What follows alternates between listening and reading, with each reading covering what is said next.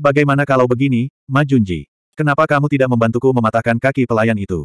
Saat Putri Julian berbicara, dia menunjuk Si Feng, yang duduk di samping Ma Junji, dan melanjutkan, saya ingat bahwa tingkat kultivasi Anda sudah berada di puncak alam Master Bela Diri Bintang 9. Kamu tidak bisa melakukan itu. Ma Junji melambaikan tangannya, Putri, kamu harus melihat tuannya sebelum memukuli seekor anjing. Ini adalah pelayan Pangeran Chen. Saya tidak berani memukulinya. Bagaimana dengan ini? Bagaimanapun, dia datang ke sini bersama Pangeran Chen, yang berarti Pangeran Chen mempercayainya. Kalau tidak, aku akan pergi dan mencarinya. Anda orang yang murah hati. Minta saja dia untuk datang dan meminta maaf kepada Anda. Lagi pula, tidak perlu marah pada seorang pelayan. Bersenandung, pelayan ini tidak tahu aturannya dan tidak tahu tempatnya. Meminta maaf saja tidak akan berhasil. Dia harus berlutut dan menamparkan dirinya sendiri. Putri Nini Lotus mendengus. Lalu dia bergumam di dalam hatinya, saat aku menikah dengan istana Pangeran Chen, aku akan mengulitinya hidup-hidup. Komandan Putri Julian berpikir dengan kejam. Dia sudah bisa membayangkan kenikmatan yang dia rasakan saat menyiksa pelayan ini dan membuatnya menangis kesakitan dan memohon ampun. Ma Junji mengangguk dan berkata, En, berlutut di depan calon nyonya juga masuk akal. Itu tamparan di wajah. Aku akan pergi dulu. Kamu harus tenang dulu. Baiklah, baiklah, jangan marah. Ma Junji menghiburnya dan kemudian berjalan ke arah Si Feng yang sedang duduk di sana. Si Feng, yang sedang duduk di sana, tiba-tiba merasakan ada seseorang yang mendekatinya. Dia menoleh dan melihat seorang pemuda tampan berbaju biru berjalan ke arahnya. Ketika Ma Junji melihat pemuda dari istana Pangeran Chen menatapnya, dia langsung memperlihatkan senyuman ramah. Ma Junji merasa bahwa menunjukkan senyuman seperti itu kepada pelayan seperti itu sudah cukup memberinya wajah. Mungkin itu cukup baginya untuk kembali dan membual tentang hal itu sebentar. Markis muda dari rumah Wu, An Markis tersenyum padaku di rumah pengajar negara. Adikku, aku belum pernah melihatmu di dekat Pangeran Chen sebelumnya. Apakah kamu baru di sini? Ma Junji datang ke sisi Si Feng, mengeluarkan bangku dari bawah meja, dan duduk.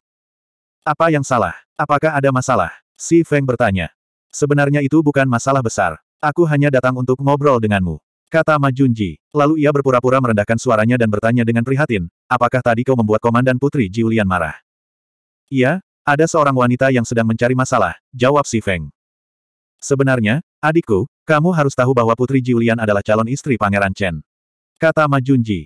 Terus, si Feng bertanya. Calon istri Pangeran Chen, yang berarti dia akan menjadi calon simpananmu. Ma Junji berkata, kamu membuatnya kesal. Jika kamu tidak menangani ini dengan benar, kamu tidak akan memiliki kehidupan yang baik di rumah Pangeran Chen di masa depan. Melihat pelayan itu tidak berkata apa-apa setelah mendengar perkataannya, Ma Junji merasa pelayan itu harus memikirkan perkataannya. Lalu dia berkata kepadanya, sebenarnya, menurutku kamu harus pergi dan meminta maaf padanya selagi masih ada ruang untuk negosiasi. Sebenarnya, aku baru saja bertanya pada Putri Julian. Selama Anda pergi dan berlutut padanya, Anda bisa menganggapnya sebagai salam untuk calon majikan Anda. Lalu kamu bisa menamparkan wajahmu sendiri, tidak perlu menamparkan wajahmu sendiri. Ma Junji ingin mengatakan lebih banyak kepada Si Feng, tetapi Si Feng buru-buru mengangkat tangannya dan menyela, sudah cukup. Kamu tidak perlu mengatakan lebih banyak. Setelah mengatakan itu, Si Feng berdiri. Ma Junji melihat Si Feng kini berjalan menuju Putri Julian. Melihat sosok muda yang mendekati Putri Julian, Ma Junji menggelengkan kepalanya dan menghela nafas. Julian, Julian, tahukah kamu betapa aku peduli padamu? Untuk membuatmu bahagia, dengan status bangsawanku, aku bahkan harus tersenyum pada pelayan rumah Pangeran Chen. Saya bahkan berbicara kepadanya dengan nada rendah hati. Aku bisa melakukan semua ini untukmu, tapi kenapa? Kamu hanya memiliki Long Chen di hatimu. Melihat pelayan itu berjalan ke arahnya, Putri Nini Lotus mengangkat kepalanya dengan arogan dan bahkan tidak melihat ke arah Si Feng yang mendekatinya. Si Feng menghampirinya dan berkata, pelayan itu baru saja mengatakan bahwa kamu ingin aku meminta maaf padamu. Anda ingin saya berlutut dan menamparkan wajah saya sendiri. Mendengar kata-kata si Feng, wajah Putri Julian, yang menjadi sedikit lebih baik karena bujukan Ma Junji, menjadi dingin lagi. Apakah dia meminta maaf padanya? Namun, di saat berikutnya, Putri Julian terkejut melihat pelayan itu mengangkat tangannya dan menamparkan wajahnya. Bagaimana ini bisa terjadi? Bagaimana ini bisa terjadi? Itu hanya satu orang. Beraninya dia. Putri Julian membuka matanya lebar-lebar. Wajahnya penuh rasa tidak percaya. Dia bahkan merasa seluruh dunia menjadi tidak nyata. Di sisi lain, wajah Ma Junji berubah drastis seperti baru saja melihat hantu. Apa yang sedang terjadi? Beraninya dia menamparkan Putri Julian. Lalu Ma Junji berteriak kaget, kamu. Apa yang sedang kamu lakukan? Beraninya kamu. Ma Junji segera menggunakan skill gerakannya dan bergegas menuju Si Feng dan Putri Julian. Tamparan. Suara tamparan yang tajam bergema di seluruh area. Putri Julian ditampar ke tanah dan berlutut. Ada bekas tangan merah tua di wajahnya. Ah, lawan aku. Aku akan melawanmu sampai mati. Aku akan mencabik-cabikmu. Putri Julian meraung seolah dia sudah gila. Dia adalah putri dari keluarga bangsawan. Sejak kecil, orang tuanya pun tidak tega memarahi atau memukulnya. Tapi hari ini, dia dipukul oleh pelayan istana Pangeran Chen di depan banyak orang. Saat ini, Putri Julian bahkan ingin mati. Seperti binatang buas, dia memperlihatkan taringnya dan mengacungkan cakarnya. Dia mencoba meraih kaki si Feng dan bahkan membuka mulutnya untuk menggigitnya. Namun, dia menyadari bahwa dia tidak dapat meraih atau menggigit kakinya meskipun kaki tersebut berada tepat di depannya. Seolah-olah dia sedang menyentuh udara. Ah, hal ini membuat Putri Julian semakin gila. Dia meraung dan mencakar si Feng. Pada saat ini, setelah tamparan dan auman Putri Julian, banyak pasang mata telah berkumpul. Bukankah dia, Putri Julian dari keluarga Tuan Hu? Siapa yang menamparnya? Aku mengenalinya. Dia datang ke sini bersama Pangeran Chen. Dia seharusnya menjadi pengawal Pangeran Chen. Apa, pengawal Pangeran Chen berani menamparkan Putri Julian? Itu terlalu lancang. Itu terlalu lancang. Banyak orang berteriak dengan marah. Penjaga ini bahkan berani menamparkan Putri Julian. Apakah itu berarti dia juga berani menamparkan mereka? Segera setelah itu, mereka melihat sosok biru mendekati penjaga itu. Pada akhirnya, penjaga itu menendang sosok biru itu dan membuatnya terbang. Jika, jika aku tidak salah, orang itu pasti adalah markis muda dari rumah Huan Markis. Apakah penjaga ini akan memberontak? Orang sombong seperti itu harus diseret keluar dan dibunuh. Iya, iya, seret dia keluar dan bunuh dia. Tentu saja, Long Chen juga telah melihat adegan ini. Dia berpikir dalam hati, penjahat ini, mengapa kamu memprovokasi dia tanpa alasan? 122. Kalian semua, hentikan. Long Chen berteriak keras. Saat Long Chen selesai berbicara, orang-orang yang menyerbu Si Feng, setidaknya selusin dari mereka, segera dikirim terbang dan jatuh ke tanah. Minger. Ayah. Paman. Di antara selusin orang yang dikirim terbang oleh Si Feng, ada yang ayah, ada yang anak laki-laki, dan ada yang paman. Segera, terdengar gelombang teriakan. Kemudian, ketika lebih banyak orang hendak bergegas, Long Chen berteriak lagi, kalian semua, berhenti. Hanya ketika suara Long Chen terdengar barulah mereka berhenti. Pada saat ini, seorang lelaki tua berusia 60-an yang putranya telah dipukuli tidak peduli dengan status Long Chen sebagai seorang pangeran. Dia berteriak dengan dingin, Yang mulia Pangeran Chen, pelayan Anda menyerang pesta ulang tahun pengajar negara. Bukankah Anda harus memberi kami penjelasan? Orang tua ini adalah Adipati Wei saat ini, Dong Fang Han. Anak yang dipukul adalah anak sulungnya, Dong Fang Ziyu. Setelah Adipati Wei selesai berbicara, lelaki tua lainnya berkata, saya yakin Yang Mulia Pangeran Chen akan memberi kami penjelasan. Markis Wuan, Ma Wenrui. Pemuda berpakaian biru yang dikirim terbang oleh Si Feng adalah putranya, Ma Junji. Saya hanya akan mengatakan ini sekali. Long Chen berteriak dengan dingin, Tuan Muda Feng adalah tamu terhormat di istana Pangeran Chen saya. Dia bukan pelayanku. Tamu yang terhormat. Bahkan jika dia adalah tamu terhormat Pangeran Chen, dia tidak bisa mengalahkan orang begitu saja. Teriak seseorang. Huff. Melihat orang itu, Long Chen mendengus sedih lagi. Apakah kamu tidak melihatnya sendiri? Orang-orang yang dipukuli oleh Tuan Muda Feng ini ingin menyerang Tuan Muda Feng, bukan Tuan Muda Feng. Jika Tuan Muda Feng tidak melawan, maka orang yang dikirim terbang adalah dia. Bagaimana aku tahu? Kupikir dia adalah pelayanmu yang mengalahkan para bangsawan, itu sebabnya aku pergi memberinya pelajaran. Aku tidak tahu, tapi dia tidak bisa memukulku. Seorang pemuda bangkit dari tanah dan berkata, Kamu bergegas untuk memukulnya, jadi kenapa dia tidak bisa memukulmu? Long Chen memandang orang itu dan bertanya dengan dingin. Aku, aku, pemuda itu tidak bisa menjawab. Orang tua ini ingin bertanya pada Yang Mulia Pangeran Chen dan teman-temannya. Long Chen melihat bahwa lelaki tua berambut putih dan berjanggut putih itu adalah ayah putri Julian, tuan pelindung saat ini. Setiap kali dia mengucapkan kata, Yang Mulia Pangeran Chen, dia akan memberikan banyak penekanan pada hal itu. Ayah, Putri Nine Lotus melemparkan dirinya ke pelukan lelaki tua itu. Lelaki tua itu dengan lembut menepuk punggungnya dan berkata, Putriku, kesalahan apa yang kamu lakukan? Mengapa kamu memukulinya seperti ini? Long Chen benar-benar tidak bisa kembali. Mungkin hanya si Feng yang tahu kenapa dia memukul Putri Nine Lotus. Pada saat ini, pandangan semua orang beralih ke si Feng. Saat ini, si Feng terlalu malas untuk berbicara omong kosong dengan mereka. Dengan jentikan pergelangan tangannya, pedang petir muncul di tangannya. Listrik mengalir di sekitar pedang dan berderak. Itu adalah pedang petir dari Tuan Muda Sekte Guntur Ungu, Lei Xiao. Iya, itu pastinya pedang petir. Bagaimana itu bisa ada di tangannya? Aku, sepertinya aku pernah mendengar bahwa beberapa hari yang lalu, Tuan Muda Lei Xiao dari Sekte Guntur Ungu dibunuh oleh seseorang. Kata-katanya mengejutkan semua orang yang hadir. Saya, saya juga mendengar bahwa Tuan Muda Sekte Guntur Ungu dibunuh oleh seseorang. Jadi orang yang membunuh Tuan Muda Sekte Valet Thunder adalah pemuda ini. Penerus dari Sekte Guntur Ungu, keluarga Iblis Darah, dan Lembah Salju Es semuanya mati. Kudengar mereka mati karena seni darah iblis. Seni darah iblis. Bukankah metode budidaya jahat ini dikabarkan telah hilang? Mendengar kata-kata itu, Si Feng hanya dengan dingin mengalihkan pandangannya ke orang-orang itu dan dengan dingin berteriak, berhenti bicara omong kosong. Siapa pun yang ingin mencari keadilan, silakan datang ke sini. Mendengar kata-kata Si Feng, beberapa orang mundur. Baru saja, lebih dari sepuluh orang bergegas keluar. Di antara mereka, ada beberapa lelaki tua yang berada di alam Raja Bela Diri, tetapi mereka semua dikirim terbang oleh Si Feng. Ditambah fakta bahwa penerus tiga sekte besar telah terbunuh, pemuda itu memang memegang pedang petir Lei Xiao. Inilah pembunuh yang berani membunuh penerus tiga sekte besar. Masing-masing dari tiga sekte besar memiliki kultivator realem Martial King. Jika dia tidak peduli dengan konsekuensinya dan membunuh mereka, tidak perlu membicarakan yang lain. Belum lagi, dia juga memiliki seni darah iblis yang menakutkan. Dikatakan bahwa ia menghisap darah orang yang hidup. Itu menyedot semua darah orang yang hidup dan menyedot mereka sampai mati.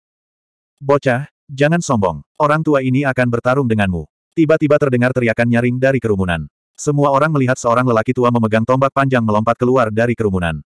Seolah-olah dia menyatu dengan tombaknya. Saat dia melompat keluar dari kerumunan, dia tidak mendarat di tanah. Sebaliknya, dia terbaring di udara. Bersama dengan tombak panjang di tangannya, seluruh tubuhnya mulai berputar dengan cepat. Dia berubah menjadi angin puyuh dan bergegas menuju Si Feng. Orang-orang bahkan dapat melihat bahwa angin puyuh telah berubah menjadi seekor naga. Itu Markis Ping Yang. Di masa lalu, Markis Ping yang dikenal sebagai jenderal yang selalu menang. Dia belum pernah kalah dalam pertempuran seumur hidupnya. Melihat angin puyuh, seseorang berkata, jika saya tidak salah, ini seharusnya menjadi jurus pembunuh terkuat Markis Senior, pembunuhan naga angin puyuh. Saya tidak menyangka bahwa setelah bertahun-tahun, budidaya Markis Ping yang tidak jatuh. Dia telah mencapai puncak alam Raja Bela Diri bintang 9 dan hanya selangkah lagi dari alam Raja Bela Diri. Markis Ping yang akan menyerang, huh. Bocah itu sombong. Tepat, tepat. Markis itu perkasa. Beri dia pelajaran yang baik untuk kita. Tapi kemudian, orang-orang mendengar teriakan muda dan arogan, beraninya kamu memamerkan keterampilan rendahan seperti itu di depan Ben Sao. Anda telah hidup begitu lama, tetapi Anda telah mempelajari keterampilan yang lebih rendah. Pernahkah Anda menjalani seluruh hidup Anda dengan sia-sia? Segera setelah itu, kerumunan melihat cahaya pedang putih berkedip dan bertabrakan dengan angin puyuh. Namun, adegan selanjutnya sangat mengejutkan penonton. Jenderal yang selalu menang di hati mereka, Markis Ping yang tua, menghilang di bawah kilatan cahaya pedang putih. Tubuhnya terbang mundur seperti layang-layang yang talinya putus. Wajah lamanya dipenuhi rasa tidak percaya, sama seperti para penonton. Jenderal yang selalu menang, seorang ahli di puncak alam Raja Bela Diri Bintang 9, dikalahkan oleh seorang pemuda. Dan gerakan membunuh terkuat dalam hidupnya, gerakan membunuh yang pernah menimbulkan ketakutan di hati musuh-musuhnya, sebenarnya disebut keterampilan bela diri yang rendah dan kasar. 123. Bahkan Raja Bela Diri Bintang 9 di puncaknya dikalahkan olehnya. Hanya ada satu penjelasan. Kekuatan pemuda ini. Dia telah mencapai alam kerajaan bela diri. Alam kerajaan bela diri. Dia telah mencapai realem martial royal pada usia yang sangat muda. Kekaisaran Yunlai memiliki kejeniusan mengerikan lainnya selain pangeran kelima. Untuk sesaat, orang-orang membicarakannya lagi. Pemuda ini memiliki kekuatan realem martial royal. Apa yang harus mereka lakukan? Apakah ada orang di sini yang bisa menekannya? Sepertinya aku baru saja memarahinya. Saya tidak tahu apakah dia mendengarnya. Seorang ahli realem martial royal. Pangeran keempat memiliki ahli realem martial royal. Kamu, bagaimana kamu menyinggung ahli realem martial royal? Lord Protector memandangi putrinya, Putri Julian, yang menangis dalam pelukannya, dan mengerutkan kening. Ayah, Buho, aku, aku tidak tahu. Kupikir dia hanya seorang pelayan di istana Pangeran Chen. Ayah, aku tidak pernah dipermalukan seperti ini. Ayah harus membantuku. Putri Julian menangis. Pengajar negara ada di sini. Tiba-tiba, seorang pelayan di rumah pengajar negara berteriak. Pengajar negara. Pengajar negara ada di sini. Itu hebat. Kita tidak bisa menangani pemuda ini, tapi pengajar negara bisa. Anda berani mengacaukan pesta ulang tahun pengajar negara. Dia akan mendapat masalah. Seseorang berkata. Lian, R, kamu dipukuli di pesta ulang tahun pengajar negara. Saya pikir pengajar negara akan membantu kamu. Huh, Tuan Pelindung mendengus. Dengan adanya pengajar negara di sini, aku akan melihat siapa yang berani sombong. Iya ya. Hari ini adalah hari ulang tahun Nalan Yuan. Dia mengenakan jubah merah, dan wajahnya penuh kekuatan. Dia berjalan keluar dari belakang aula. Dia hanyalah satu orang, namun membuat orang merasa seolah-olah sosok ini berdiri di sana, seolah-olah itu adalah gunung yang tak tergoyahkan. Pengajar negara. Pengajar negara. Pengajar negara, saya berharap Anda bahagia seperti Laut Timur dan umur panjang seperti Gunung Selatan. Melihat Nalan Yuan, orang-orang berbalik dan berteriak. Pada saat ini, Nalan Yuan sedang melihat Si Feng di halaman dengan wajah cemberut, mengabaikan semua orang yang hadir. Orang-orang dapat melihat bahwa pengajar negara sedang marah saat ini. Seseorang akan kurang beruntung. Wajah Nalan Yuan penuh amarah. Dia akhirnya meletus seperti gunung berapi. Dia menunjuk Si Feng dan bertanya kepada orang-orang di sekitarnya, apa yang terjadi. Semua orang tiba-tiba merasakan aura kuat menyapu Nalan Yuan sebagai pusatnya. Banyak orang merasakan auranya dan tidak bisa menahan diri untuk mundur. Beberapa orang bahkan merasa sulit bernapas, seolah-olah akan tercekik. Kekuatan Kaisar Bela Diri Bintang 9 membuat beberapa orang gemetar. Mau tidak mau mereka ingin berlutut di hadapan penasihat kekaisaran. Untungnya, kemarahan Nalan Yuan tidak mengaburkan rasionalitasnya. Dia masih mengendalikan auranya. Kalau tidak, jika dia meledak dengan kekuatan penuhnya, dia akan menunjukkan kekuatan Raja Bela Diri Bintang 9 yang sebenarnya. Banyak orang yang memiliki tingkat budidaya rendah akan meninggal. Pengajar negara, kamu harus menegakkan keadilan bagi kami. Seseorang berteriak dengan sedih, anak ini membuat keributan di pesta ulang tahunmu dan melukai banyak dari kami. Ayahku sudah sangat tua, tapi dia masih tega memukulnya. Anak saya diserang olehnya dan masih tidak sadarkan diri. Saya tidak tahu apakah dia hidup atau mati. Pengajar negara, Anda harus menegakkan keadilan bagi kami. Pengajar negara, putriku, Julian, baru saja mengucapkan beberapa patah kata kepada anak ini. Dia benar-benar menamparkan putriku di depan semua orang. Pengajar negara, kamu harus menegakkan keadilan bagi putriku. Kata Adipati Hu, ayah putri Julian. Cukup, Nalan Yuan berteriak keras, menyela kata-kata semua orang. Kemudian, orang-orang melihat Nalan Yuan berjalan menuju Si Feng selangkah demi selangkah. Hah, beberapa orang diam-diam mendengus seolah-olah mereka telah melihat akhir tragis Si Feng. Beraninya dia berperilaku begitu kejam di kediaman pengajar negara. Lalu bagaimana jika dia memiliki kekuatan kaisar bela diri? Orang seperti ini harus diberi pelajaran. Kalau tidak, akan sulit menghilangkan kebencian di hatiku.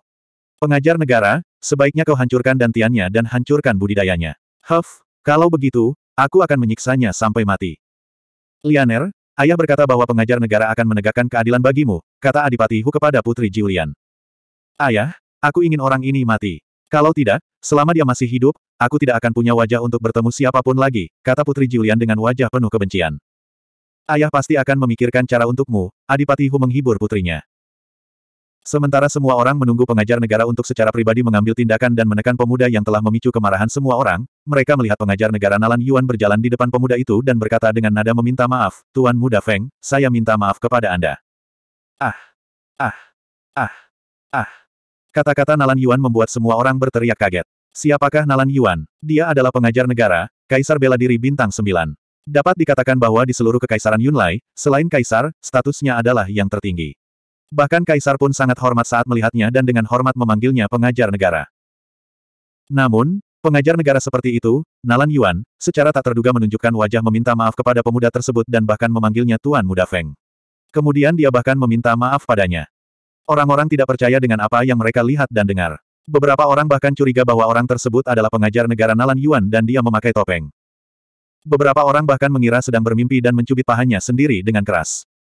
Putri Julian merasa semakin sulit untuk menerimanya. Dia memandang Si Feng, lalu kenalan Yuan, dan kemudian ke Si Feng. Dia terus bergumam dengan suara rendah, bagaimana ini bisa terjadi? Bagaimana ini bisa terjadi? Bagaimana ini bisa terjadi? Lianer, jangan memprovokasi orang ini di masa depan. Kata Adipati Hu kepada Putri Julian dengan wajah serius. Tetapi, ayah Putri Julian ingin melanjutkan, tetapi Adipati Hu menyelanya dengan serius, dengan kekuatannya sebagai kaisar bela diri, mudah baginya untuk membunuh seluruh keluarga kita malam ini. Beraninya dia. Putri Julian mengertakkan gigi dan berkata.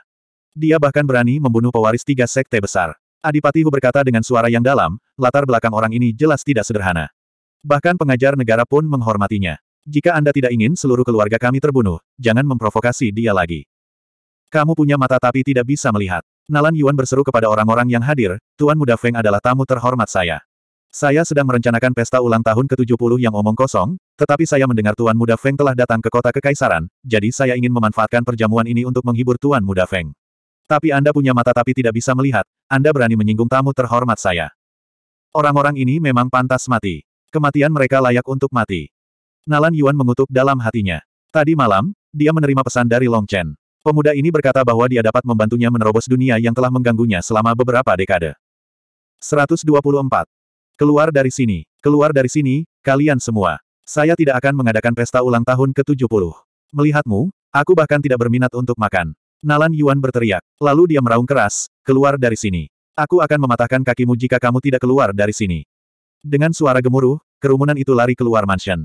Untuk sesaat, suasana kembali kacau. Setelah malam ini, semua pejabat di kota akan mengetahui bahwa seorang pemuda bernama Tuan Muda Feng telah datang ke kota kekaisaran. Pengajar negara Nalan Yuan, orang terkuat di Kekaisaran Yunlai, sangat marah pada semua orang di pesta ulang tahunnya yang ke-70 karena dia ingin melindungi pemuda ini. Tak lama kemudian, halaman yang bising menjadi sunyi. Mereka yang seharusnya pergi sudah pergi. Hanya si Feng, Long Chen, Nalan Yuan, pria misterius bertopi bambu yang datang bersama Long Chen, dan beberapa pelayan rumah pengajar negara yang tersisa. Di seluruh kekaisaran Yunlai, hanya Nalan Yuan yang berani meneriaki begitu banyak pejabat dan menyuruh mereka keluar dari sini. Ah, aku ingin menghibur Tuan Muda Feng dengan baik kali ini, tapi ternyata seperti ini. Kuharap Tuan Muda Feng bisa memaafkanku. Nalan Yuan berkata pada si Feng. Oke, si Feng melambaikan tangannya dengan tidak sabar pada Nalan Yuan, menunjukkan bahwa dia tidak perlu mengatakan apa-apa lagi. Lalu dia berkata kepadanya, siapkan ruang rahasia untuk berlatih seni bela diri. Mereka semua adalah orang-orang pintar. Tentu saja, mereka tahu mengapa Nalan Yuan marah pada mereka. Meski mereka tahu dia punya tujuan, setidaknya mereka menyukainya. Selain itu, Long Chen telah memberitahu mereka bahwa lelaki tua ini telah menyiapkan hadiah besar untuknya. Tidak ada salahnya memberinya beberapa petunjuk tentang jalan seni bela diri. Benar, bagi si Feng, ranah yang belum ditembus Nalan Yuan selama 21 tahun hanyalah masalah petunjuk baginya. Mendengar perkataan si Feng, hati Nalan Yuan sedikit gugup, penuh harap, dan bersemangat. Melihat si Feng, sepertinya memang ada cara baginya untuk maju dari kaisar bela diri menjadi guru bela diri. Apakah memang ada jalan? Pasti ada jalan. Dia adalah murid kaisar Xiao Yao. Siapa di antara orang-orang Yu yang bukan orang aneh, iblis, atau monster? Ruang rahasia sudah disiapkan. Tuan Muda Feng, silakan lewat sini. Nalan Yuan dengan cepat berkata kepada Si Feng dan memberi isyarat mengundang. Si Feng mengangguk. Ketika dia hendak pergi, dia kembali menatap pria misterius bertopi bambu dan berkata, Orang tua, ikuti Ben Sao. Ben Sao akan memberimu peluang. Mendengar kata-kata Si Feng, pria misterius itu mengikuti mereka. Kemudian, dipimpin oleh Nalan Yuan, Si Feng, Long Chen, dan pria misterius itu memasuki ruang rahasia seni bela diri di rumah pengajar negara. Ruang rahasia rumah pengajar negara sama luasnya dengan lapangan seni bela diri. Ada lusinan senjata di dalamnya, yang semuanya memiliki nilai berbeda. Nilai tertinggi adalah tombak ungu tingkat 5. Nalan Yuan menunjuk ke senjata-senjata ini dan berkata kepada Si Feng, orang tua ini telah bertemu musuh yang tak terhitung jumlahnya dalam hidupnya. Para ahli dari senjata-senjata mendalam yang ditinggalkan oleh orang tua ini semuanya adalah lawan yang dihormati oleh orang tua ini. Meskipun mereka semua mati karena ini tangan orang tua, orang tua ini masih menghormatinya dan meninggalkan senjata mereka yang dalam sebagai kenang-kenangan. Menghormati lawannya, seniman bela diri saling menghargai. Ini adalah perasaan yang pernah dialami secara mendalam oleh Si Feng. Dalam perjalanan untuk menjadi pembangkit tenaga listrik, ada tumpukan tulang. Ada banyak sekali lawan yang dia hormati, tetapi setelah membunuh mereka, dia merasakan kesepian. Ayo mulai. Dengan jentikan pergelangan tangannya, pedang guntur muncul di tangan Si Feng. Kemudian, Si Feng berkata kepada Nalan Yuan dan pria misterius itu, saya hanya akan menunjukkan jalannya kepada Anda. Apakah Anda dapat memahaminya atau tidak tergantung pada pemahaman Anda tentang seni bela diri. Menghadapi dua master dari alam kerajaan bela diri, Si Feng tampak seperti seorang Grandmaster saat ini. Kemudian, pedang di tangan Si Feng bergerak perlahan dan anggun. Setiap kali pedang itu bergerak, meninggalkan bayangan pedang putih di udara. Setiap bayangan pedang membawa SWOT inten. Nalan Yuan dan pria misterius itu memperhatikan dengan tenang. Kemudian, bayangan pedang satu demi satu muncul di mata mereka. Wajah acuh tak acuh Nalan Yuan tiba-tiba berubah ketika dia merasakan maksud pedang. Dia bergumam tanpa sadar, ilusi dan nyata, tentu saja. Segera setelah itu, Nalan Yuan juga mulai bergerak mengikuti niat pedangnya. Gerakannya lambat dan anggun seperti gerakan Si Feng. Dia mengulurkan tangan kanannya dan tombak ungu pangkat lima segera terbang ke tangannya. Segera setelah itu, Nalan Yuan mulai menari dengan tombak panjang dengan anggun. Ilusi dan nyata, alami, sekte seni bela diri, sekte seni bela diri. Wajah Nalan Yuan tiba-tiba menjadi sedikit bersemangat. Kemudian, dia berkata dengan penuh semangat, aku. Sepertinya aku melihat secercah cahaya di jalan gelap di depanku. Kemudian, Nalan Yuan menghentikan gerakannya dan menatap Si Feng dengan seluruh perhatiannya. Pria misterius lainnya sudah duduk bersila di tanah. Cahaya hitam di tubuhnya berkedip-kedip seolah cahaya hitam itu bernafas. Long Chen juga secara tidak sadar dipengaruhi oleh Si Feng. Dia duduk di tanah dan mulai memahaminya. Ekspresi Nalan Yuan yang awalnya bingung berangsur-angsur menjadi tegas dengan maksud pedang yang terkandung dalam pedang ki dari pedang ki Si Feng. Sampai pedang ki putih terakhir Si Feng diringkas menjadi dua kata, seni bela diri. Seluruh tubuh Nalan Yuan bergetar hebat.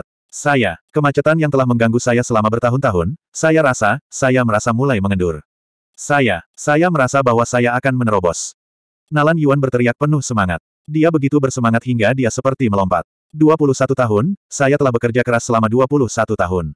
Sekarang, aku akhirnya merasakan perasaan ini. Kemudian, Nalan Yuan tidak sabar untuk duduk di tanah. Dia duduk bersila dan mulai memahaminya. Si Feng menghentikan tarian pedangnya dan melirik orang-orang yang duduk di tanah yang mulai memahami seni bela diri. Akhirnya, dia memusatkan perhatian pada Nalan Yuan. Dia sudah merasakan momentum Nalan Yuan sedang berubah. Jika tidak ada kecelakaan, dia akan menerobos ke sekte seni bela diri. Kemudian, Si Feng melihat Long Chen, yang duduk di sisi lain, memancarkan cahaya putih. Long Chen adalah orang pertama yang menerobos. Dia menerobos dari ranah Master Bela Diri Bintang 8 ke ranah Master Bela Diri Bintang 9. Tuan Muda Feng. Long Chen membuka matanya dan memandang si Feng yang berdiri di sana. Dia berkata, saya tidak menyangka bahwa saya juga akan menerobos. Setelah melihat maksud pedangku, jika kamu, seorang master bela diri, tidak menerobos, maka kamu bisa sepenuhnya melepaskan seni bela diri di masa depan, kata si Feng terus terang. Haha, setelah mendengarkan kata-kata si Feng, Long Chen tertawa. Dengan bantuan Tuan Muda Feng, Long Chen merasa semakin percaya diri di masa depan. Jika saya bisa menaklukkan dunia kekaisaran Yunlai, Long Chen bersedia berbagi dunia dengan Tuan Muda Feng. 125. Si Feng berkata, saat aku meninggalkan kekaisaran Yunlai, kamu harus membiarkan ibu dan saudara perempuanku menjalani kehidupan yang nyaman. Tentu saja, Long Chen berkata dengan tegas, ibumu adalah ibuku, dan adikmu adalah adikku, Long Chen. Iya, si Feng mengangguk. Tuan Muda Feng, tuanku memintaku untuk memberikan ini padamu. Kemudian, Long Chen mengeluarkan batu putih dari cincin penyimpanannya. Si Feng melihatnya dan matanya menyipit. Batu Roh Yin. Batu Roh Yin dikatakan sebagai harta karun alami yang lahir di tempat yang penuh dengan Yin Qi. Isinya Yin Qi yang kaya dan murni. Secara umum, batu Roh Yin adalah intisari Yin Qi di tempat yang penuh dengan Yin Qi. Itu adalah harta karun bagi Si Feng, yang mengembangkan keterampilan dunia bawah Yu. Si Feng mengambil batu Roh Yin dari Long Chen tanpa ragu-ragu. Long Chen berkata, tuanku mendapatkan batu Roh Yin ini secara tidak sengaja. Dia tahu bahwa Tuan Muda Feng berasal dari Zhou Yu dan itu akan berguna bagi Tuan Muda Feng. Jadi, dia memberikannya kepada Tuan Muda Feng sebagai hadiah. Si Feng mengangguk pada Long Chen. Dia merasakan Yin Qi di dalam batu roh Yin. Jika dia bisa menyerap semua Yin Qi di dalam batu roh Yin, budidayanya akan meningkat satu bintang. Dia akan mampu menerobos ke alam Raja Bela Diri bintang 4. Perjalanan ke rumah pengajar kekaisaran ini tidak sia-sia. Sebenarnya, Guru telah mengatakan bahwa terlepas dari berhasil atau tidaknya Tuan Muda Feng menerobos, barang ini akan berguna bagi Tuan Muda Feng dan akan diberikan kepada Tuan Muda Feng. Oleh karena itu, dia sudah menaruhnya pada saya. Si Feng mengangguk dan berkata, saya juga perlu berkultivasi di sini. Ketika Anda kembali, beritahu ibu saya bahwa ada sesuatu yang harus saya lakukan dan saya tidak bisa kembali hari ini. Si Feng duduk bersila di tanah dan mulai menyerap Yin Qi di batu roh Yin dengan menggunakan keterampilan dunia bawah Yu. Dari kelihatannya, sepertinya dia akan menjadi lebih kuat lagi. Long Chen diam-diam menggelengkan kepalanya. Kemudian, dia melihat ke arah Nalan Yuan dan pria misterius itu. Mengetahui bahwa mereka tidak akan bangun untuk sementara waktu, dia keluar dari ruang rahasia sendirian. Si Feng memegang batu roh yin di tangannya dan mengoperasikan seni dunia bawah Yu miliknya. Tiba-tiba, sejumlah besar yin qi yang padat dan murni mengalir keluar dari batu roh yin seperti sungai yang bergelombang. Itu tersedot ke dalam tubuh si Feng.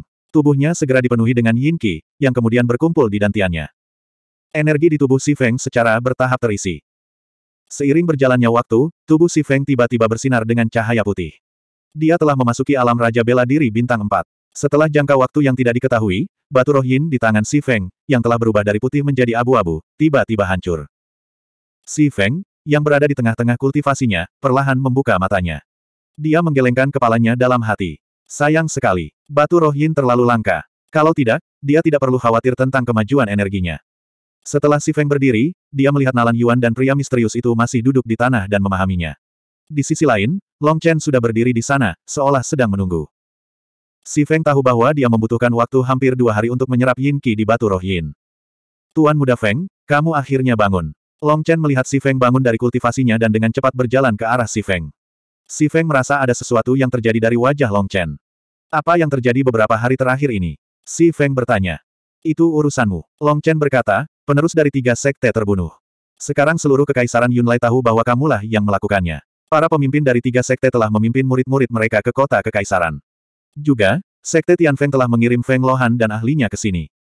Oh, mereka datang dengan cepat. Si Feng mengangguk dan berkata, apakah mereka berhasil mencapai kota kekaisaran? Tidak, Long Chen menggelengkan kepalanya dan kemudian berkata, kota kekaisaran kita masih kuat. Bagaimana kita bisa membiarkan sekte-sekte ini menjadi begitu lancang? Namun, keempat sekte telah menempatkan mata-mata di empat gerbang kota. Selama kamu muncul, mereka akan membunuhmu tanpa ampun. Ayah saya sudah menyetujui tindakan mereka. Huff, mereka ingin menjebakku di kota kekaisaran. Si Feng mendengus dingin. Sekarang tempat teraman adalah Tuan. Dengan Tuan di sini, mereka tidak akan berani bertindak gegabah. Tuan Muda Feng, sebaiknya Anda tetap di sini dan bersembunyi sebentar. Kata Long Chen. Bersembunyi. Karena kita di sini, kita harus meninggalkan beberapa orang di sini. Mari kita mulai dengan Sekte Tianfeng. Ben Sao paling membenci sekte nomor satu ini. Kata si Feng. Sekte Tianfeng ada di gerbang timur. Pemimpinnya adalah Feng Lohan. Meskipun Feng Lohan adalah yang terlemah di antara para ahli di sini, dia masih seorang kaisar bela diri bintang 4. Ada 30 ahli dari Sekte Tianfeng yang mengikutinya. Kata Long Chen. Saat dia memasuki Gunung Binatang Iblis, dia juga melarikan diri. Tapi karena dia ada di sini, dia harus tetap di sini. Long Chen melihat bahwa setelah Si Feng selesai berbicara, tanah di bawahnya tiba-tiba menjadi seperti rawa. Si Feng tenggelam dan segera menghilang di depan mata Long Chen. Long Chen pernah melihat hantu Yin sebelumnya. Dia tahu bahwa Si Feng telah menggunakan sihir bumi mayat Yin untuk memasuki tanah. Monster ini, dia akan melakukan sesuatu yang menggemparkan dunia lagi. Long Chen tersenyum pahit. Dia baru saja mendengar monster ini berkata bahwa dia ingin meninggalkan Feng Lohan. Feng Lohan adalah kaisar bela diri bintang 4. Dia menduduki peringkat ke-8 di antara 10 ahli di kekaisaran Yunlai. Kali ini, aku tidak tahu apakah monster itu bisa terus menjadi monster. Dia seharusnya bisa. Setelah melalui serangkaian kejadian seperti itu, Long Chen menjadi semakin percaya diri pada monster itu. Bahkan tuannya, yang dulunya tak terkalahkan, mulai membuat terobosan setelah terjebak selama 21 tahun di bawah bimbingan monster itu. Sekarang, jika Si Feng mengatakan bahwa dia akan membunuh empat ahli kaisar bela diri yang datang ke kota kekaisaran, selama Si Feng berani mengatakannya, Long Chen mungkin akan mempercayainya. Di luar gerbang timur kota kekaisaran, langit dipenuhi dua taring tajam. Kelelawar bersayap hijau dengan wajah garang. Mereka perlahan mengepakkan sayap hijaunya dan berhenti di langit. Di setiap kelelawar bersayap hijau, ada seorang seniman bela diri yang berdiri atau duduk. Semua seniman bela diri yang datang adalah elit dari Sekte Tianfeng. Tingkat budidaya terendah adalah di alam martial spirit. Di atas kelelawar bersayap hijau terbesar, ada sebuah kursi. Feng Lohan sedang berbaring malas di kursi, memegang cangkir anggur transparan di tangannya. Gelas anggurnya setengah terisi dengan anggur merah, dan Feng Lohan mencicipinya dengan elegan. Mengenai operasi ini, Feng Lohan tidak terlalu mempedulikannya. Itu hanya untuk menangkap seseorang yang telah membunuh alkemis peringkat dua dan monster tua Yin Yang. Hal utama adalah menyaksikan keributan dari tiga sekte besar. Feng Lohan juga penasaran. Dia ingin melihat orang seperti apa yang berani membunuh orang-orang dari Sekte Tianfeng, dan bahkan Tuan Muda dan orang suci dari tiga sekte besar. 126. Tiba-tiba, seorang murid dari Sekte Angin Langit, menunggangi kelelawar bersayap hijau, terbang dari kehampaan dan berhenti di depan Feng Lohan. Feng Lohan terus mencicipi anggur merah di cangkirnya dan bertanya, bagaimana situasinya sekarang? Melapor ke wakil pemimpin Sekte. Murid itu menjawab, tidak ada perubahan di lembah es salju, tetapi pemimpin sekte dari Sekte Guntur Ungu, Lei Gang, dan pemimpin sekte dari Sekte Iblis Darah, Sue Tu, ingin bergegas ke kota kekaisaran beberapa kali. Kali untuk menangkap anak itu. Hehe, setelah mendengar ini, Feng Lohan tersenyum dan berkata, yang satu memiliki putra yang sudah meninggal, dan yang lainnya memiliki cucu yang sudah meninggal. Sekarang mereka tahu pembunuhnya ada di kota kekaisaran, kedua orang itu tentu saja tidak bisa menahan diri. Tapi apa gunanya bergegas ke kota kekaisaran sekarang, mengetahui bahwa anak itu bersembunyi di rumah penasihat kekaisaran milik lelaki tua Nalan Yuan itu? Iya, bawahan itu mengangguk setelah mendengar kata-kata Feng Lohan. Dan Nalan Yuan sepertinya sangat menghargai anak itu. Beberapa hari yang lalu di pesta ulang tahun, dia pada dasarnya memarahi semua pejabat yang menghadiri perjamuan itu, dan mengusir semua orang keluar dari istana penasihat kekaisaran. Pergi dan beritahu kedua orang itu untuk tidak bersikap impulsif. Jika pria kecil itu tidak keluar dari istana penasihat kekaisaran dalam waktu tiga hari, patriar kita secara pribadi akan meminta Nalan Yuan untuknya. Lagi pula, Sekte Tianfeng kita juga kehilangan nyawa kita. Di tangan si kecil itu. Kata Feng Lohan. Ini adalah pesan yang dikirim Feng Qianyu kembali setelah Feng Lohan memberitahu pemimpin sekte tentang situasi di sini. Selama bertahun-tahun, sekte dan kekaisaran hidup damai, tapi kali ini, implikasinya terlalu besar. Pewaris dari tiga sekte besar telah meninggal, dan tiga sekte besar selalu mengikuti jejak sekte angin langit. Dan Sekte Angin Langit juga kehilangan nyawa mereka di tangan si pembunuh.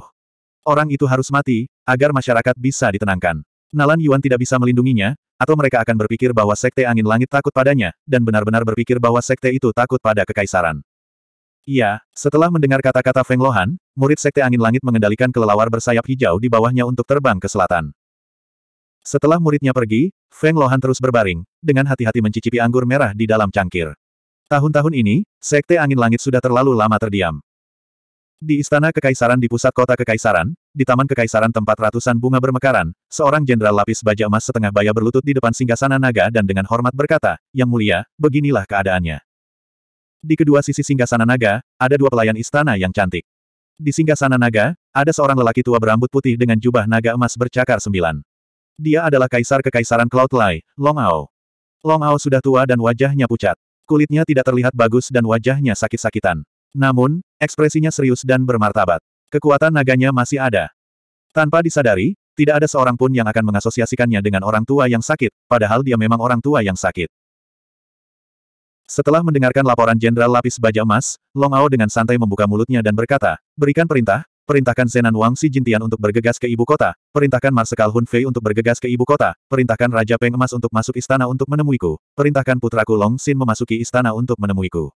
Imperial Preceptor adalah pilar kekaisaran Yunlai saya. Mereka yang dilindungi oleh Imperial Preceptor juga dilindungi oleh keluarga panjangku. Mereka tidak boleh diizinkan datang ke kota kekaisaranku dan berperilaku kejam. Iya, Jenderal Lapis Baja Emas itu menjawab dengan hormat. Kemudian, dia berdiri dan memberikan perintah itu. Setelah Jenderal Lapis Baja Emas bangkit dan pergi, Long Ao mendengus dingin, sekte ini semakin berani. Mereka berani datang ke kota kekaisaran saya dan meminta orang. Apakah menurut mereka keluarga panjangku mudah ditindas? Yang mulia, saya tidak mengerti. Pada saat ini, seorang lelaki tua berpakaian seperti pegawai negeri datang ke Long Ao dan membungkuk. Oh, Long Ao mengerutkan kening dan berkata, oh. Yang mulia, bukankah Anda menyetujui empat sekte menangkap si pembunuh beberapa hari yang lalu? Kata orang tua itu. Orang ini tidak lain adalah Zhao Qian, Perdana Menteri yang penis putranya Zhao Zixin dihancurkan oleh Si Feng. Dia secara alami memahami bahwa pembunuh yang ingin ditangkap oleh empat sekte adalah orang yang menghancurkan penis putranya. Awalnya, setelah insiden di kediaman Imperial Preceptor menyebar, bahkan Imperial Preceptor telah melindungi orang itu. Bagi orang itu, pengajar kekaisaran telah mengusir semua pejabat yang menghadiri pesta ulang tahun keluar dari kediaman pengajar kekaisaran. Selain itu, dikatakan bahwa orang tersebut memiliki kekuatan kaisar bela diri. Zhao Qian merasa tidak ada harapan untuk membalas dendam. Namun, kedatangan ketiga sekte tersebut memberinya harapan. Namun, baru saja, Long Ao telah memanggil semua kaisar bela diri kembali ke kota kekaisaran. Dari kelihatannya, dia sebenarnya ingin melawan empat sekte demi si pembunuh. Menyetujui. Setelah mendengar kata-kata Zhao Qian, Long Ao mendengus dingin, lelucon yang luar biasa. Ketika saya mendengar bahwa mereka datang ke kota kekaisaran untuk menangkap orang, saya terlalu malas untuk berbicara omong kosong dengan mereka. Namun, mereka sebenarnya berani mengepung kota kekaisaranku. Jika dunia mengetahui hal ini, bukankah mereka akan menertawakan ketidakmampuanku? Kota kekaisaran keluarga panjangku. Bagaimana bisa tempat ini menjadi tempat bagi mereka untuk berperilaku keji? Zhao Qian, apakah kamu sudah pikun? Saya, saya tahu kesalahan saya. Yang mulia, mohon tenang. Hah? Dari bawah tanah, Si Feng sampai di hutan terpencil di luar kota timur. Dia melihat ke dalam kehampaan di luar kota timur dan melihat lusinan kelelawar bersayap hijau terbang di udara, serta para pembudidaya di punggung mereka. Hah! Melihat orang-orang itu, bibir si Feng membentuk senyuman dingin. Orang-orang ini ada di sini untuk mengambil nyawanya. Jika mereka menginginkan nyawanya, mereka harus meninggalkannya.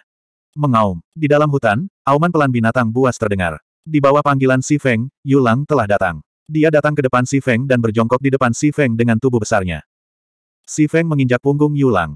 Kemudian, Pedang Thunderbolt muncul di tangannya. Dia berteriak pada Yulang, terbang. Ikuti aku ke dalam pertempuran. Si Feng berteriak pada Yulang. Mengaum, Yulang meraung dan mengepakkan sayap hitamnya. Dia naik ke langit dan segera meninggalkan hutan. Kemudian, dia menerobos langit dan terbang menuju para penggarap Sekte Tianfeng. Tiba-tiba, seorang murid Sekte Tianfeng datang ke sisi Feng Lohan dan melaporkan, Wakil pemimpin Sekte, ada gerakan di belakang kita. Oh, Mendengar laporan muridnya, Feng Lohan menoleh dan melihat bayangan hitam dengan cepat terbang dari langit yang jauh.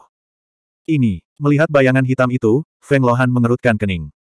Jika saya tidak salah, orang di belakang serigala iblis peringkat empat ini adalah orang yang ingin kita tangkap, kata murid Sekte Tian Feng.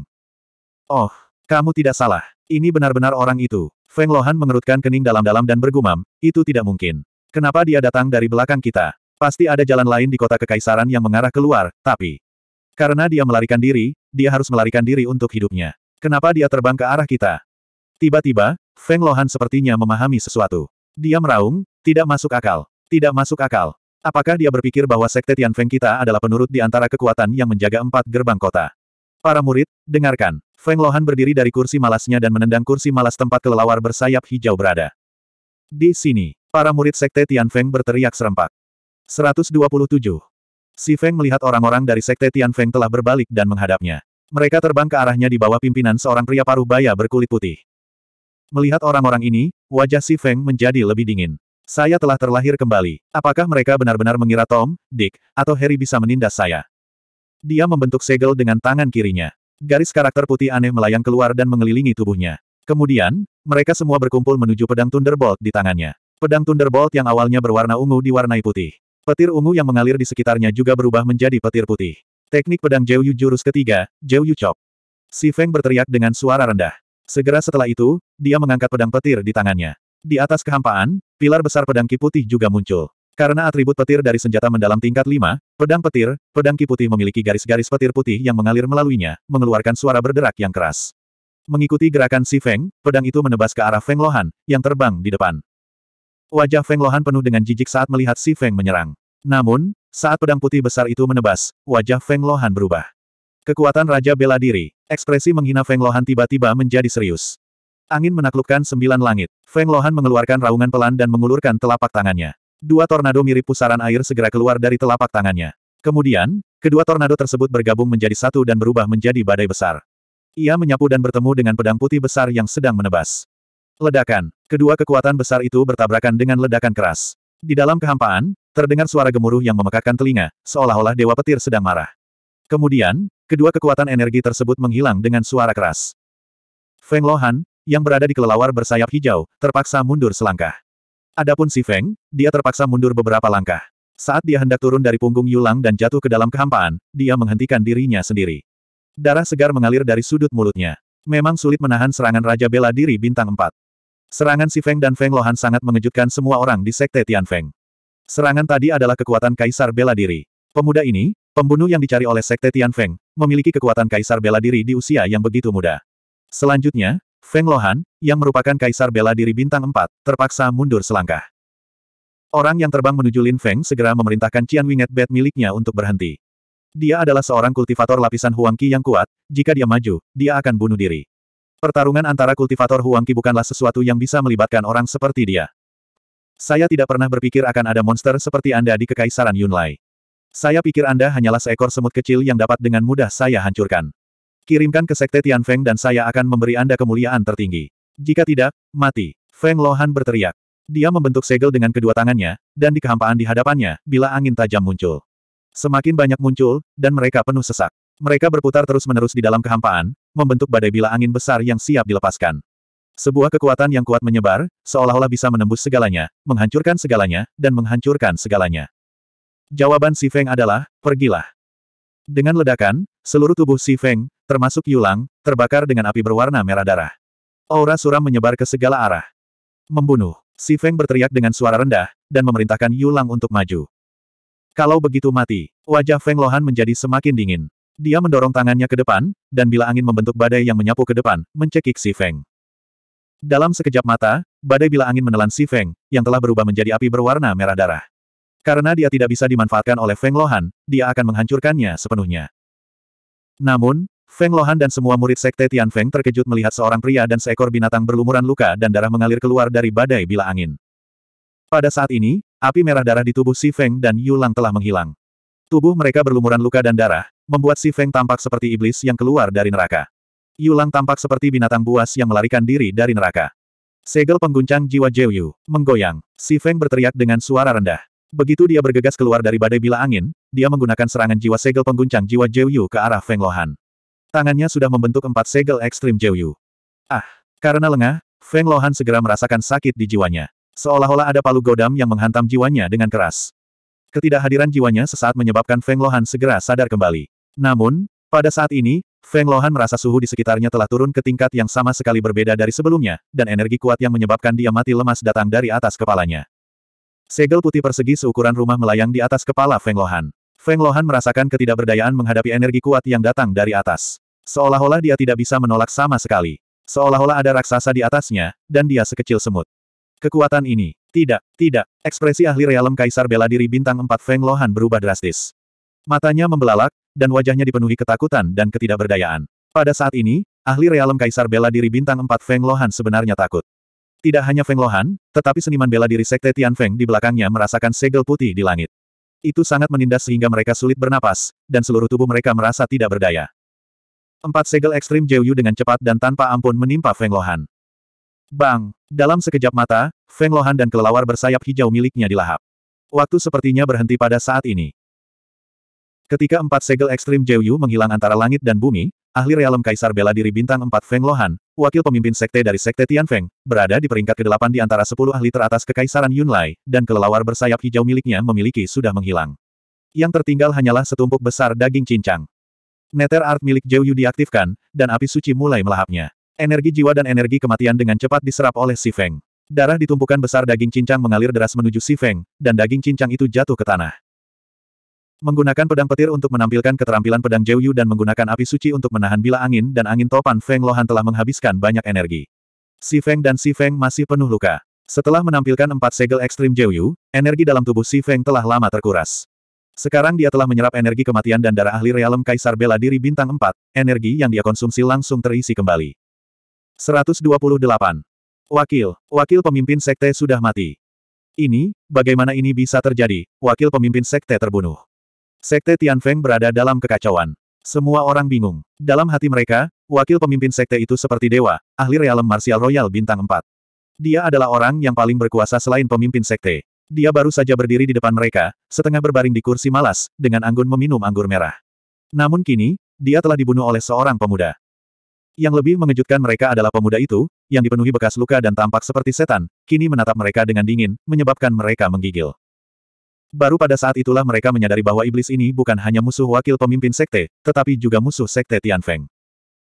Tiba-tiba, seniman bela diri sekte Tianfeng yang berada dalam keadaan kacau mendesak binatang iblis mereka untuk melarikan diri demi nyawa mereka. Si Feng tidak mengejar. Sebaliknya, dia memerintahkan Quiet Wolf untuk turun dengan cepat. Ini karena dia sudah bisa merasakan ada beberapa aura yang lebih kuat dari Feng Lohan yang dengan cepat mendekatinya. Mungkin keributan tadi terlalu besar, sehingga tiga sekte lainnya sudah merasakannya dan bergegas mendekat. Biarkan aku melihat ke mana kamu pergi. Tiba-tiba terdengar teriakan marah. Cahaya merah darah melintas di langit dan bergegas menuju Si Feng. Alam kerajaan bela diri bintang delapan. Melihat cahaya merah darah yang mengalir ke arahnya, Si Feng segera mengenali kultivasi orang tersebut. Dengan kecepatan ahli realem martial royal bintang delapan, roh jahat Yin tidak bisa dibandingkan dengannya. Segera, dia tiba di bawah Si Feng dan memblokir jalan keluar Si Feng. Cahaya merah darah menghilang, menampakkan seorang lelaki tua dengan rambut panjang berwarna merah darah, janggut panjang berwarna merah darah, kulit berwarna merah darah, dan jubah berwarna merah darah. Dia tinggi dan kokoh, dan wajahnya perkasa. Dia adalah pemimpin sekte dari sekte Holocaust, Suetu. Bajingan kecil, serahkan keterampilan iblis yang haus darah. Aku akan membiarkanmu menderita selama sepuluh tahun sebelum aku membunuhmu. Jika tidak, saya akan menghancurkan dantian Anda dan membesarkan Anda seperti babi atau anjing selama sisa hidup Anda di sekte Holocaust. Aku akan menyiksamu siang dan malam dengan penyiksaan paling keji di dunia. Aku akan membuatmu memohon kematian. Dalam perjalanan ke sini, Suetu telah melihat murid-murid Sekte Angin Surgawi melarikan diri dengan panik, tetapi dia tidak melihat Feng Lohan. Karena itu, Suetu menduga sesuatu telah terjadi pada Feng Lohan. Dan sekarang, setelah melihat orang yang dikabarkan telah mengembangkan teknik iblis haus darah membunuh Feng Lohan, Raja Bela Diri Bintang 4, di usia yang begitu muda, Suetu menghubungkan semua ini dengan teknik iblis tertinggi dari Sekte Holocaust yang telah hilang selama ratusan tahun, teknik iblis yang haus darah. Tepat pada saat ini, suara gemuruh bergema saat sambaran petir ungu menembus udara, mencapai sisi Si Feng dalam sepersekian detik. Kilatan petir menghilang, memperlihatkan seorang pria parubaya berambut ungu dan berjubah ungu yang tubuhnya diselimuti oleh petir ungu. Saat dia melihat Si Feng, tangan kanannya membentuk cakar, dan bola petir ungu muncul di telapak tangannya. Dia mengarahkannya ke kepala Si Feng, binatang kecil, kembalikan nyawa anakku. Orang yang datang adalah pemimpin Sekte Guntur Ungu, Lei Gang, yang juga merupakan Raja Bela Diri Bintang Delapan. Putra yang menjadi harapannya kini telah meninggal. Ketika dia melihat pembunuhnya, Lei Gang tidak sabar untuk menghancurkan jiwa dan raga orang ini. Wajah Si Feng sedingin es. Saat dia hendak pindah, dia menyadari bahwa itu tidak diperlukan lagi. Tangan berwarna merah darah menghalangi jalan Si Feng dan meraih bola petir ungu itu, menghancurkannya. Itu adalah Suetu yang telah menghancurkan bola petir ungu itu. Dia belum mendapatkan teknik iblis tertinggi, teknik iblis yang haus darah, jadi bagaimana dia bisa membiarkan Lei Gang membunuh buku hidup ini? Mata Lei Gang hendak menyemburkan api. Dia memelototi Suetu dan meraung, Suetu, bajingan tua, apa maksudnya ini? Huh, Suetu dengan dingin mendengus dan berkata, bajingan kecil ini ditangkap olehku, jadi akulah yang harus menghadapinya. Kalau begitu tangani dia. Lei Gang berteriak. Huh, saya tidak membutuhkan Anda untuk mengajari saya cara melakukan sesuatu. Suetu dengan dingin mendengus. Pada saat itu, cahaya seputih salju menerobos langit dan tiba dalam sekejap mata. Ketika cahaya putih menghilang, seorang wanita cantik dengan pakaian seputih salju dengan rambut diikat tinggi muncul. Dia memiliki temperamen yang mulia. Dia adalah Sue Yimeng, pemimpin sekte lembah es. Dia adalah ahli marsial monark bintang 6 dan berada di peringkat ketujuh di antara 10 ahli kekaisaran Yunlai. Mengapa kalian berdua bertengkar? Sue Yimeng mengerutkan kening dan memandang Lei Gang dan Sue Tu dengan bingung. Lalu dia menatap si Feng dan wajah cantiknya berangsur-angsur menjadi dingin. Apakah kamu membunuh Yi?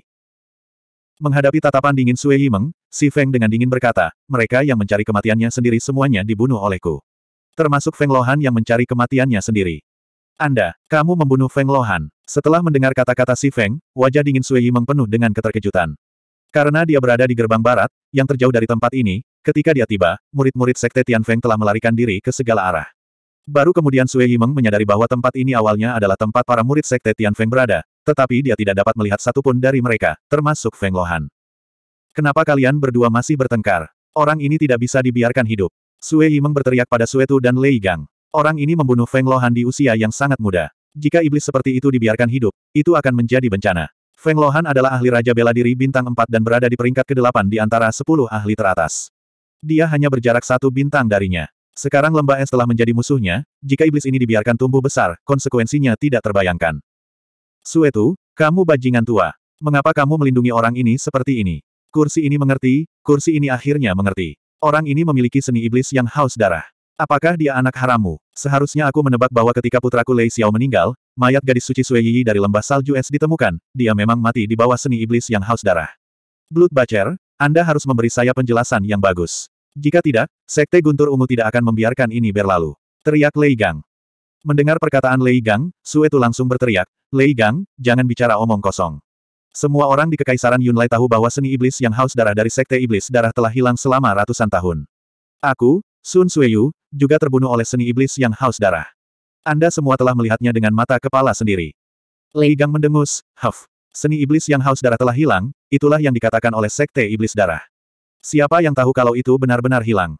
Jika itu benar-benar hilang, lalu bagaimana orang ini bisa mengetahui seni iblis yang haus darah? Bagaimana aku bisa tahu di mana dia mempelajari seni iblis yang haus darah? Orang ini ditangkap olehku. Dia membunuh cucuku tercinta, jadi aku harus membawanya kembali ke Sekte Iblis Darah dan menyiksanya. Hanya dengan begitu aku bisa mengorbankan jiwa cucuku tercinta. Di surga. Huff. Anda menemukan anak haram Anda yang telah lama hilang. Saya pikir Anda akan membawanya kembali ke Sekte Blood Fiend untuk membesarkannya. Cukup. Berhentilah bertengkar. Sue Yimeng berteriak dengan marah. Dia memandang Sue Tu dengan dingin dan berkata, orang ini harus mati hari ini. 129. Merasakan tekanan dari alam leluhur bela diri, Sue Yimeng menangkupkan tinjunya dan berkata dengan hormat, Senior, ini adalah perselisihan pribadi antara Sekte Guntur Ungu, Sekte Iblis Darah, dan Lembah Salju Es. Saya harap Anda tidak ikut campur. Bocah kecil Yimeng, tidak bisakah kamu mengenali suara lelaki tua ini? Suara tua dari atas berkata dengan nada mengejek. Kamu, kamu, ekspresi Sue Yimeng berubah ketika dia berseru, penasihat kekaisaran Nalan. Ekspresi Lei Gang dan Sue Tu juga berubah. Nalan Yuan telah memasuki alam marsial leluhur. Haha, suara tua itu terkekeh dan sesosok tubuh yang tinggi dan kokoh keluar dari kehampaan. Rambut putihnya berkibar tertiup angin dan dia mengenakan jubah penasihat kekaisaran berwarna emas. Itu adalah penasihat kekaisaran kekaisaran Yunlai, Nalan Yuan. Setelah Nalan Yuan muncul, tubuhnya bersinar dan dia muncul di depan tiga pemimpin sekte. Dia memandang mereka dan berkata, saya baru saja keluar dari pengasingan dan suasana hati saya sedang baik. Kalian semua boleh pergi. Tapi penasihat kekaisaran Nalan, Sue Yi ragu-ragu. Sue Tu berteriak, Nalan Yuan, orang ini membunuh Feng Luohan dan pewaris ketiga pemimpin sekte kami. Anda ingin membawanya pergi. Apakah kerajaan Anda ingin memulai perang dengan sekte kami? Hah. Setelah mendengar kata-kata Suetu, Nalan Yuan mendengus dingin. Tiba-tiba, Suetu merasakan kekuatan tak terlihat bertabrakan dengannya. Dia tidak bisa menolaknya sama sekali. Dia membungkukkan tubuhnya dan mundur terus-menerus dalam kehampaan hingga jaraknya lebih dari 10 meter. Gumpalan darah mengalir dari sudut mulutnya. Suetu, kamu tidak memenuhi syarat untuk memulai perang. Biarkan Feng Qianyu berbicara padaku. Kata Nalan Yuan. Dia kemudian menatap Lei Gang dan Sue Yimeng, bagaimana denganmu? Keraguan muncul di wajah Sue Yimeng. Kemudian, sambil menghela nafas, dia berubah menjadi cahaya putih dan terbang menjauh. Dia tahu bahwa Nalan Yuan akan melindungi pria ini. Dia bahkan ingin menunjukkan kekuatannya kepada Sue Tu. Kemudian, Lei Gang mendengus keras, berubah menjadi kilat ungu, dan lari ke kejauhan. Kemudian, terdengar teriakan, bajingan kecil, sebaiknya kau bersembunyi di kota kekaisaran seumur hidupmu. Kalau tidak, aku akan membuatmu menyesal karena tidak mati hari ini. Pada akhirnya, Suetu yang berada di sisi lain juga berubah menjadi cahaya berwarna darah dan terbang dengan wajah penuh amarah. Untungnya, Anda tiba tepat waktu. Jika tidak, Ben Sao akan langsung dieksekusi. Kali ini, Ben Sao berhutang budi padamu. Si Feng memandang Nalan Yuan dan berkata, Haha, Tuan Muda Feng, Anda melebih-lebihkan. Itu semua berkat bimbingan Tuan Muda Feng yang dimiliki lelaki tua ini saat ini. Nalan Yuan terkekeh dan berkata, tetapi saya baru saja melihat penampilan tenang Tuan Muda Feng. Dia tidak terlihat seperti orang yang menunggu untuk dieksekusi, bukan? Kaisar bela diri itu tidak memenuhi syarat untuk mengambil nyawa Ben Sao. Hanya saja harga yang harus dibayar Ben Sao terlalu tinggi. Apa pun yang terjadi, Ben Sao akan mengingat bantuan ini. Setelah mengatakan ini, Si Feng duduk bersila di belakang Spirit Wolf. Dia membentuk segel dengan tangannya dan bergerak perlahan. Dia berkata dengan suara rendah, Yu tidak akan pernah hancur. Itu akan bertahan selamanya. Kemudian, luka berdarah di tubuh Si Feng sembuh dengan kecepatan yang terlihat. Dalam pertempuran hari ini, wakil pemimpin sekte Tian Feng, Si Feng, terjatuh. Nama Si Feng menyebar ke seluruh kekaisaran Yunlai. Di bar, kedai teh, jalanan, dan gang, yang paling banyak dibicarakan adalah jenius muda Si Feng, yang baru saja bangkit. Tahukah kamu, pertarungan itu bisa dikatakan telah mengejutkan langit dan bumi. Saudaraku, Si Feng, dan aku dikelilingi oleh beberapa puluh ribu ahli dari empat sekte besar, dan dapat dikatakan bahwa bahkan seekor lalat pun tidak dapat melarikan diri. Apakah Anda tahu apa yang terjadi? Aku hanya mendengar kakakku Si Feng dengan dingin berteriak, bunuh. Dengan masing-masing satu pedang, kami membunuh siapa pun yang menghalangi kami. Darah berceceran sejauh 3000 mil, dan mayat ada di mana-mana. Bagaimanapun, sekilas, tanah dipenuhi dengan mayat para master dari empat sekte. Darah mengalir seperti sungai. Serangan terakhir adalah serangan gabungan dari saudaraku Si Feng dan aku. Kami menikam dengan pedang yang mengubah warna langit dan membunuh wakil pemimpin Sekte Tian Feng, Feng Lohan. Di sebuah kedai teh, seorang pendongeng bercerita kepada penonton dengan air liur beterbangan ke mana-mana. Wajahnya tampak hidup, dan kata-katanya benar, seolah-olah semuanya sesuai dengan yang dia katakan. Feng Lohan, saya yakin semua orang pernah mendengar tentang dia. Wakil pemimpin Sekte Tian Feng, Kaisar Bela Diri Bintang 4, berada di peringkat ke-8 di antara 10 master teratas. Tingginya 8 kaki, dan pinggangnya juga 8 selebar kaki. Dia berdiri di atas istana dan berteriak tiga kali, siapa yang berani membunuhku? Siapa yang berani membunuhku? Siapa yang berani membunuhku? Begitu teriakan ketiga jatuh, kepalanya langsung terbang ke langit. Tidak ada yang melihat bagaimana Feng Lohan meninggal. Mereka hanya melihat sesosok tubuh muda berdiri di depan tubuhnya yang tanpa kepala. Angin bertiup kencang, dan malam sedingin air.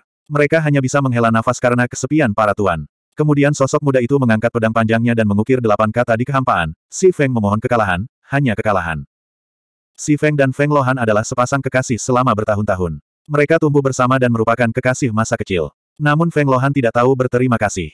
Dia meninggalkan Si Feng dan pergi ke pelukan pemimpin Sekte Tian Feng, Feng Qianyu. Si Feng mencintai Feng Lohan secara mendalam. Bagaimana dia bisa menahan rasa sakit yang lebih buruk dari kematian? Jadi dia berlatih seni bela diri dengan keras. Setelah 10 tahun sakit hati, dia akhirnya berhasil dalam seni bela diri. Dia membunuh Feng Lohan dengan tangannya sendiri dan mengubur cinta yang memilukan ini. Berbagai versi cerita tersebar di seluruh kekaisaran Yunlai. Long Chen berjalan bersama Si Feng di kota kekaisaran. Dia mendengarkan berbagai versi cerita dan menggoda Si Feng, Tuan Muda Feng, sekarang kamu terkenal. Sekarang suasana hati Long Chen sedang baik sejak Si Feng datang. Dia tidak hanya memiliki kaisar bela diri Samsung, Ye Wuxie, di sisinya, dia juga memiliki Si Feng, monster yang benar-benar membunuh Feng Lohan. Terlebih lagi, pangeran kedua, Long Tian, lahir dari saudara perempuan Feng Lohan. Begitu Feng Lohan meninggal, Long Tian akan kehilangan dukungannya. Si Feng membunuh Feng Lohan. Dapat dikatakan bahwa dia membantu Long Chen menyingkirkan saingan tahta.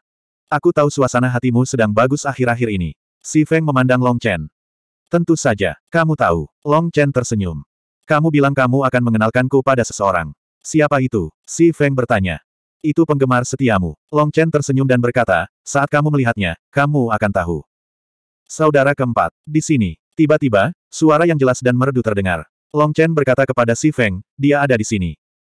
Si Feng melihat ke arah yang ditunjuk Long Chen dan melihat seorang gadis muda berbaju ungu berdiri di pintu masuk kedai teh tidak jauh dari sana. Dia melambai pada mereka dengan senyuman manis, lalu dia berlari mendekat. Hehe, kakak keempat, kalian lambat sekali. Aku sudah lama menunggu kalian. Gadis muda itu berkata kepada Long Chen sambil bercanda. Kedua matanya yang besar berkedip, seperti peri yang lincah dan imut, penuh spiritualitas. Kemudian gadis muda itu berkata kepada Si Feng sambil bercanda, kamu pastilah saudara Si Feng. Kamu setampan yang dikatakan dalam legenda. Aku adalah penggemarmu yang paling setia. 130. Hehe, setelah mendengar kata-kata Long Chen, Long Meng tertawa lagi, memperlihatkan dua lesung pipit yang dangkal. Katanya, Kak, kamu nakal sekali. Kamu meniru perkataan orang lain. Haha, baiklah, jangan berdiri di sini. Ayo masuk dan duduk. Long Chen tertawa dan menunjuk ke kedai teh tempat Long Meng berdiri. Kemudian, mereka berjalan menuju kedai teh. Long Meng dengan sengaja berjalan di samping Si Feng dan berkata, Saudara Si Feng, sekarang semua orang mengatakan kamu sangat kuat. Bisakah kamu menerimaku sebagai muridmu dan mengajariku seni bela diri? Saya juga ingin menjadi seseorang yang sekuat Anda. Si Feng memandang Long Meng dan berkata, kamu dilahirkan dengan konstitusi yang murni, yang bertentangan dengan seni bela diri saya. Seni bela diri saya tidak cocok untuk Anda. Jika Anda tidak mengerti apa pun tentang seni bela diri, selama saya aku masih di kota kekaisaran, kamu bisa bertanya padaku kapan saja. Kata Si Feng. Si Feng menemukan bahwa gadis ini sudah menjadi Raja Bela Diri Bintang 5 di usia yang sangat muda.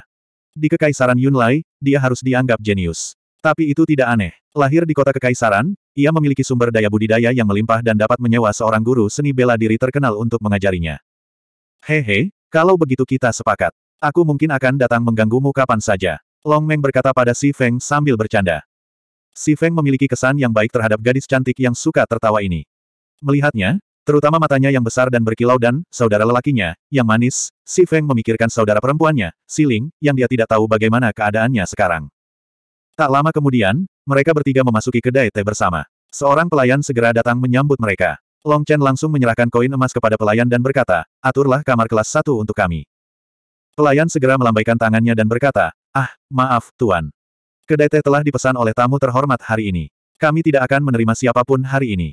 Anda harus pergi ke tempat lain. Dipesan. Long Chen mengerutkan kening dalam-dalam dan menunjukkan ketidaksenangan. Dia berkata, berapa yang dia bayar? Saya akan melipat gandakan harganya. Saya benar-benar minta maaf, pelanggan yang terhormat. Tidak peduli seberapa tinggi harga yang Anda tawarkan, itu tidak ada gunanya. Toko kami tidak boleh menyinggung pelanggan yang terhormat ini. Tolong bantu saya dan berhenti mempersulit saya. Pelayan ini telah bekerja di kedai teh selama bertahun-tahun. Melihat pakaian orang-orang ini, dia secara alami tahu bahwa mereka bukanlah orang-orang sederhana. Tetapi jika identitas mereka tidak sederhana, maka master di lantai atas bahkan lebih sederhana lagi. Tidak ada seorang pun di sini. Bukankah ada begitu banyak kursi yang kosong? Mengapa kamu tidak membiarkan kami duduk? Anda bahkan tidak ingin mendapatkan uang. Apakah kamu bodoh? Long Meng memandang pelayan itu dan berkata dengan bingung. Pelayan tersenyum pada Long Meng dan berkata, Nona, Anda pasti bercanda. Karena kedai teh ini telah dipesan oleh tamu terhormat hari ini sehingga ada begitu banyak kursi kosong. Oh, jadi begitu. Long Meng mengangguk dengan serius. Terlihat jelas bahwa gadis ini jarang berjalan keluar, terutama di kedai teh dan bar tempat orang baik berbaur dengan orang jahat. Lupakan saja. Ayo cari tempat lain. Si Feng berkata pada Long Chen. Oke, sejak si Feng berkata begitu, Long Chen mengangguk. Siapa orang idiot yang berdengung di bawah? Berisik sekali. Pelayan, bukankah aku sudah memberitahumu bahwa kedai teh ini sudah dipesan oleh tuanku? Saat ini, teriakan kasar datang dari atas. Si Feng dan yang lainnya mendongak dan melihat seorang pria berwajah kasar berdiri di jalan setapak di samping tangga di lantai dua. Ketika pria berpenampilan kasar itu melihat wajah Long Chen, pupil matanya menyusut dan dia tiba-tiba terkejut. Pangeran, Pangeran Chen, setelah mengatakan itu, pria berpenampilan kasar itu buru-buru berlari ke dalam kamar. Kamu kenal dia? Si Feng memandang Long Chen dan bertanya. Dia adalah pelayan dari orang yang paling tidak ingin kulihat. Ayo pergi ke tempat lain, kata Long Chen. Si Feng mengangguk. Saat mereka berbalik dan hendak pergi, tiba-tiba terdengar suara nyaring dari lantai dua. Jadi itu benar-benar saudara laki-lakiku yang keempat dan saudara perempuanku yang keenam. Sejak kalian bertemu, kenapa kamu tidak datang dan menyapaku? Setelah mendengar suara itu, wajah Long Chen menjadi dingin pada awalnya, kemudian sudut mulutnya yang kaku perlahan terbuka, memperlihatkan senyuman. Dia berbalik dan mengangkat kepalanya. Kupikir kamu sedang sibuk dan pasti sedang menjamu tamu di lantai atas, jadi kupikir lebih baik tidak mengganggumu. Aku tidak menyangka kamu akan keluar menemuiku secara langsung.